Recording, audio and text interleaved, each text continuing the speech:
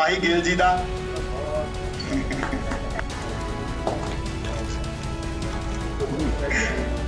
ਹੁਣ ਮੈਂ ਬੇਨਤੀ ਕਰਾਂਗਾ ਸਾਡੇ ਪੰਜਾਬ ਦੇ ਛਾਟੀ ਦੀ ਆਨ ਸ਼ਾਨ ਪਾਰਟੀ ਦਾ ਪਟਕਾ ਪਹਿਨਾ ਕੇ, ਮਾਟੀ ਦਾ ਪਟਕਾ ਪਹਿਨਾ ਕੇ। ਸੋ ਮੈਨੂੰ ਪੂਰੀ ਉਮੀਦ ਹੈ ਕਿ ਇਹ ਦੋਨੋਂ ਅਦਾਕਾਰ ਜਿਸ ਪ੍ਰਕਾਰ ਇਹਨਾਂ ਨੇ ਪੰਜਾਬ ਪੰਜਾਬੀ ਦੀ ਸੇਵਾ ਦੀ ਸੇਵਾ ਇਹ ਪੂਰੇ ਦ੍ਰਿੜਤਾ ਨਾਲ, ਪੂਰੇ ਵਿਸ਼ਵਾਸ ਨਾਲ ਕਰਨਗੇ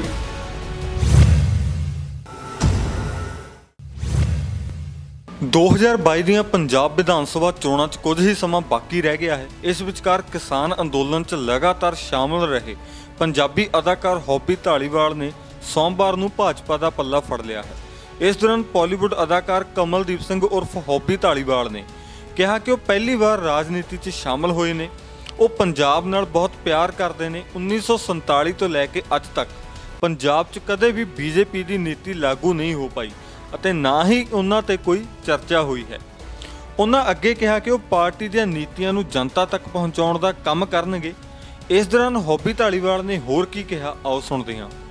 ਸਭ ਤੋਂ ਪਹਿਲਾਂ ਤਾਂ ਤੁਹਾਨੂੰ ਬਹੁਤ ਸਾਰੇ ਅਦਬ ਤੇ ਸਤਿਕਾਰ ਦੇ ਨਾਲ ਸਤਿ ਸ੍ਰੀ ਅਕਾਲ। ਔਰ ਜਿੰਨੇ ਵੀ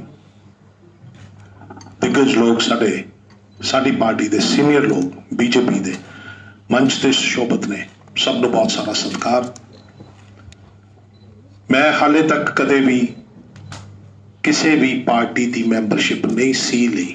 ਉਹ ਸੀ ਹੋ ਗਿਆ ਤੇ ਹੁਣ ਮੈਂ ਪਹਿਲੀ ਵਾਰ ਆਪਣੀ ਜ਼ਿੰਦਗੀ ਦੇ ਵਿੱਚ ਪੋਲੀਟੀਕਲੀ ਬੀਜੇਪੀ ਜੁਆਇਨ ਕੀਤੀ ਹੈ ਤੇ ਮੈਂ ਮਾਣ ਮੱਤਾ ਮਹਿਸੂਸ ਕਰ ਰਿਹਾ ਕਿਉਂਕਿ ਏਡੇ ਸੀਨੀਅਰ ਲੀਡਰ ਸਹਿਬਾਨ ਸਾਰੇ ਮੇਰੇ ਵਾਸਤੇ, ਮਾਹੀ ਗਿੱਲ ਜੀ ਵਾਸਤੇ ਇਕੱਤਰ ਹੋਏ ਨੇ। ਔਰ ਤੁਸੀਂ ਸਾਰੇ ਆਏ ਹੋ, ਤੁਹਾਨੂੰ ਜੀ ਆਇਆਂ। ਮੇਰਾ ਦਰਦ ਮੇਰੀ ਜ਼ਿੰਦਗੀ ਦਾ ਧੁਰਾ, ਮੇਰਾ ਸੂਤਰਧਾਰ, ਮੇਰਾ ਪੰਜਾਬ ਹੈ, ਮੇਰੀ ਮਿੱਟੀ ਹੈ। ਮੈਂ ਬੇਹੱਦ ਮੁਹੱਬਤ ਕਰਦਾ ਤੇ ਪੰਜਾਬ ਨੂੰ। ਪੰਜਾਬ ਦੇ ਟਿੱਬੇ ਵੀ ਮੈਂ ਆਪਦੇ ਪਿੰਡ 'ਚ ਦੇਖੇ ਨੇ। ਅਸੀਂ ਦੋ ਭਰਾ ਆ ਮੇਰੇ ਵੱਡੇ ਬ੍ਰਦਰ ਸਰਦਾਰ ਪ੍ਰਦੀਪ ਸਿੰਘ, ਉਹ ਵੀ ਆਏ ਹੋਏ ਨੇ। ਸਾਡਾ ਪਰਿਵਾਰ ਅੱਜ ਤੱਕ ਇੱਕ ਹੈ। ਮਾਣ ਵੀ ਹੈ। ਬੰਬੇ ਤੋਂ ਵਿਕਰਮ ਸੰਧੂ ਹੁਣੀ ਵੀ ਆਏ ਨੇ। ਪਰ ਉਹ ਟਿੱਬਿਆਂ ਦੀ ਖੁਸ਼ਬੂ, ਉਹ ਮਿੱਟੀ, ਉਹ ਰਿਸ਼ਤੇ, ਉਹ ਨਾਤੇ, ਉਹ ਵੈਲਿਊਜ਼ ਉਹ ਸੱਭਿਆਚਾਰ, ਉਹ ਖੇਤੀ, ਉਹ ਪਾਣੀ, ਸਭ ਰੁੜ ਗਿਆ। ਅਫਸੋਸ, ਜਿਹੜਾ ਮੈਨੂੰ, ਮੈਂ, ਅਫਸੋਸ ਮੇਰਾ ਇਹ ਸੀ, ਮੇਰਾ ਦਰਦ ਇਹ ਹੈ ਕਿ ਪੰਜਾਬ ਦੇ ਵਿੱਚੋਂ ਸਭ ਕੁਝ ਮਿਸਿੰਗ ਹੈ।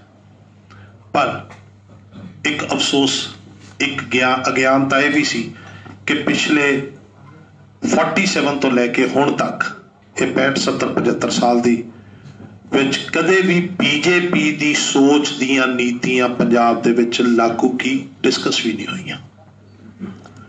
ਸੋ ਮੇਰਾ ਮੁੱਢਲਾ ਤੇ ਪਹਿਲਾ ਤੇ ਸ਼ਾਇਦ ਆਖਰੀ ਫਰਜ਼ ਵੀ ਇਹੀ ਰਹੂਗਾ ਕਿ ਬੀਜੇਪੀ ਦੀਆਂ ਉਹ ਨੀਤੀਆਂ ਜਿਹੜੀਆਂ ਪੰਜਾਬ ਵਾਸਤੇ ਆਸਵੰਦ ਨੇ, ਲੋੜਵੰਦ ਨੇ, ਅਸੀਂ ਸਾਨੂੰ ਚਾਹੀਦੀਆਂ ਨੇ ਉਹ ਲੈ ਕੇ ਆਉਣੀਆਂ ਤੇ ਉਹਨਾਂ ਨੀਤੀਆਂ ਤੋਂ ਲੋਕਾਂ ਨੂੰ ਜਾਗਰੂਕ ਕਰਾਉਣਾ ਤੇ ਫਿਰ ਲੋਕਾਂ ਦੀ ਸੋਚ ਜਾਂ ਲੋਕਾਂ ਦੀ ਮੰਗ ਹੈੱਡ ਆਫਿਸ ਤੱਕ ਪਹੁੰਚਾਉਣੀ। ਇਸੇ ਕੜੀ ਨੂੰ ਮੈਂ ਬਰਕਰਾਰ ਰੱਖਣ ਦੀ ਕੋਸ਼ਿਸ਼ ਕਰਾਂਗਾ।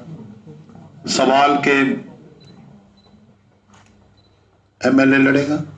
ਅਧਿਕਸ਼ ਬਣੇਗਾ? ਅੱਗੇ ਵਧੇਗਾ? ਨਹੀਂ। ਜਿਉਂਦਾ ਰਹੇ ਮੇਰਾ ਬਾਪ ਜਿਨੇ ਮੈਨੂੰ ਦੋ ਖੁੱਡ ਦੇ ਦੇ ਜਿਉਂਦਾ ਰਹੇ ਮੇਰਾ ਭਰਾ, ਜਿਹੜਾ ਦੋ ਖੁੱਡ ਵਾਹ ਕੇ ਮੈਨੂੰ ਪੈਸੇ ਦੇ ਜਾਂਦਾ।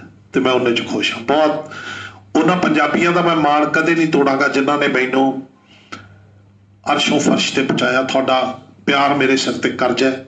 ਉਹ ਫਿਲਮਾਂ ਰਾਹੀਂ ਜਾਂ ਤੁਹਾਡੇ ਵਿੱਚ ਵਿਚਰ ਕੇ ਤੁਹਾਡੀ ਸੇਵਾ ਲਈ ਸਮਰਪਿਤ ਰਹਾਂਗਾ। ਇਸੇ ਜਨਮ 'ਚ ਦਿੱਤਾ ਹੋਇਆ ਕਰਜ਼ਾ ਮੋੜਨ ਦੀ ਕੋਸ਼ਿਸ਼ ਕਰਾਂਗਾ। ਤੇ ਤੁਹਾਡਾ ਸਭ ਦਾ ਬਹੁਤ ਬਹੁਤ ਧੰਨਵਾਦ। ਮਿਹਰਬਾਨੀ। Bureau report, Rangla TV.